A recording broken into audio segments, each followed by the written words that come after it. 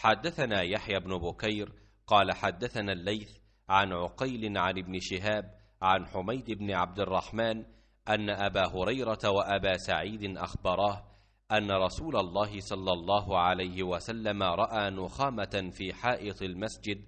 فتناول رسول الله صلى الله عليه وسلم حصاة فحتها ثم قال إذا تنخم أحدكم فلا يتنخم قبل وجهه ولا عن يمينه وليبصق عن يساره أو تحت قدمه اليسرى.